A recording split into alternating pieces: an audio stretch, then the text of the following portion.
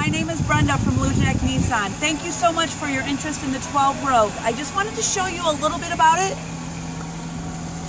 As you see inside the Rogue, it has got plenty of space as well as some really cool features.